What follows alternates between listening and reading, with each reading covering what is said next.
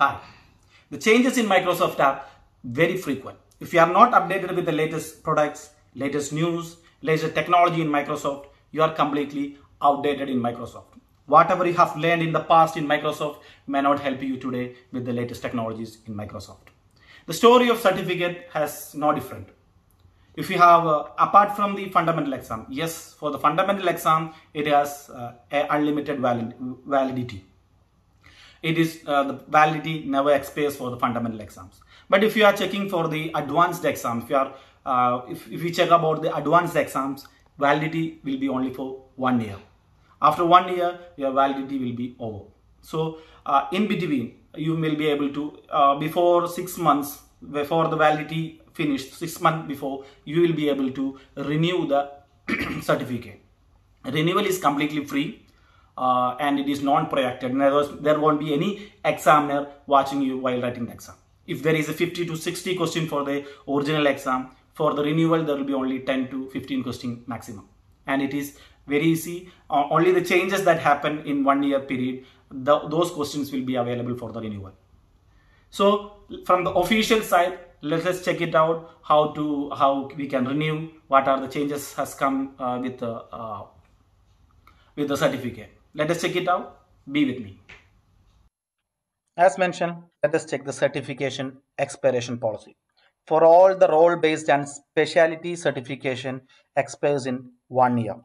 Microsoft role-based and specialty specialty certificate are valid for one year from the date you complete all requirement to end that certificate. To prevent your certification from expiring, you must renew the certificate before certification expiration date. Once the certificate expires, you will no longer be able to renew that certificate. Please keep in mind, once the certification expires, you will no longer be able to renew that certificate. You will have to re-end that certificate by passing all the required exam again. So keep that in mind. Once that uh, if you are failed to renew the exam, if you fail to renew the certificate, you will not be able to renew it again. You will have to re-end it. You will have to write the exam again.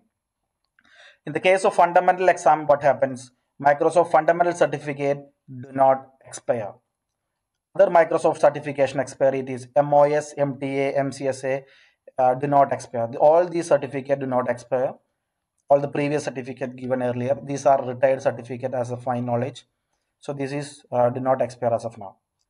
Presently, Microsoft does, doesn't conduct any of these exams as, as per my knowledge and for certification and before June 13, 2021 has two year validity, valid for two year. Okay, so let us check how we can renew it. What are the policy for the renewal? So in the from the official side, we can check it out. Renewal are free.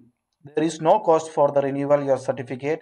Just make sure you pass the online assessment before your certificate expires fundamental certificate do not expire. As you know fundamental certification do not expire. For all other, all other uh, certificate you will have to renew renewal is free.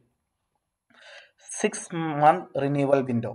The win renewal window will be for six months. That means you can take the renewal assessment anytime during your six months eligibility window via microsoft learn once you pass your certification will be extended one year from the expiration date. If you pass it you will get one more year uh, certificate validity Assessment are short and unproctored. Assessment focus on recent technologies and industry updates. Uh, see whatever changes has happened between this one year period, those questions will be available for the uh, assessment. See if the original exam is having some 50 to 60 questions, this may be having only 10 to 15 questions maximum. So this is very short and uh, there won't be any examiner watching you for this exam. So these are the um, how we can renew it and the information about the renewal. And in my previous video i have mentioned that uh, you may get we may get free voucher if you attend the um, uh, event that conducted by microsoft for all the fundamental exam.